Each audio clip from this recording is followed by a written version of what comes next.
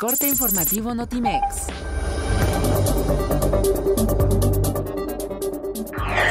Estar en contra de la reforma educativa es estar contra México, y sobre todo contra la niñez y los jóvenes, advirtió el presidente Enrique Peña Nieto al término de la inauguración del ciclo escolar 2017-2018, en el que 25.6 millones de estudiantes de educación básica regresaron a clases. El secretario de Hacienda, José Antonio Mid Curibreña, calificó como positiva la primera ronda de renegociación del Telecán, que concluyó la víspera en Washington, D.C., y agregó que estamos preparados. Fue un buen principio y habremos de estar atentos y darle seguimiento.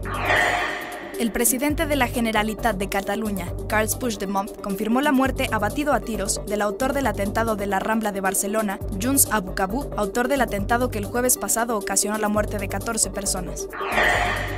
La luna pasó entre el Sol y la Tierra, provocando un eclipse solar, un espectáculo natural que se pudo disfrutar de manera total en Estados Unidos y parcial en México. Los mexicanos tendrán que esperar hasta el 8 de abril del año 2024 para apreciar un eclipse total de Sol, el cual, de acuerdo con expertos, será más espectacular que el que se vivió en una franja de Estados Unidos.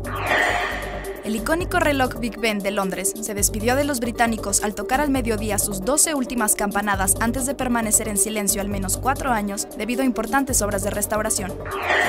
La máxima categoría del deporte motor anunció el lanzamiento de la Fórmula 1 Sport Series, competencia virtual que reunirá a los mejores videojugadores de todo el mundo.